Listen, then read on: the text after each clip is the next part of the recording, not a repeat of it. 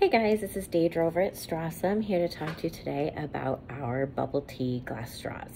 So if you're not familiar with bubble tea, or sometimes called boba, B-O-B-A, um, it is a, I believe, a Taiwanese Asian drink.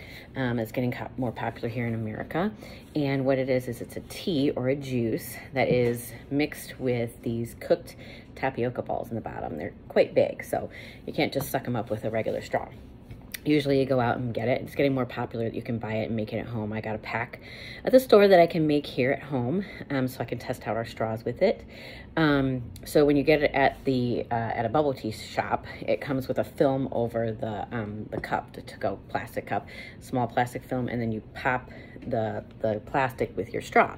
Straw has an angle on the end, and I always thought, well, that end must just be for popping the plastic, and just you know, if you're out and about getting one, have them pop the plastic for you. So we always sold our eight inch boba straw, just flat ended and everything. It has to be this way. It has to be this size and because it fits into our to-go cases this way. So this is the size we always made. Um, it worked pretty good. And if you're going out and about, you can put it in your case and everything.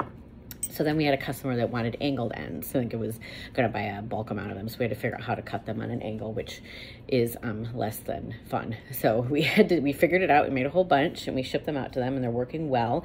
So it's actually a little bit longer. It is nine point, just a little bit over like 9.125 and it has that beautiful angle on the end. So what I've learned in testing it out, I'm not a huge fan of boba. It's a lot of sugary drink and I don't drink a lot of that. So what I learned in using it is that the angle actually um, helps you suck up the, the bubbles, the tapioca balls at the bottom. And interestingly enough, like when you make it, so you have to make the tea and then you have to put in the, cook the tapioca balls, and then you have to put it all together in this glass with ice because it's all hot, so it makes it cool down and everything. This is the size of the glass that I made it in, which is pretty big. Like if you look at how tall my straw is to my cup, this is the straw that they give you in the pack when you buy the boba so you can make it at home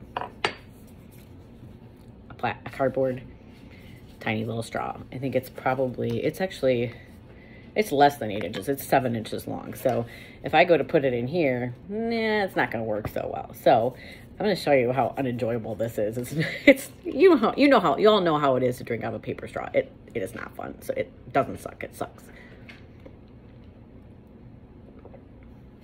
Like I can get it up. It's okay. It's not great, but ooh.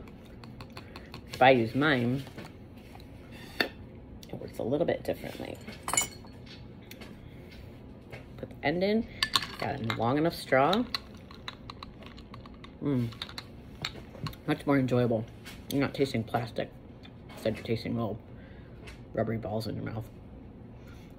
anyway, um, yeah, so if you guys are into bubble tea, bubble tea, give our um, bubble tea straws a, uh, a try. I bet you you will enjoy it. You can make it home and save some money, not have to go out and buy it. And uh, have some fun with your straws. Hope you guys enjoy them. Let us know if you have any questions about our new boba straws. Bye.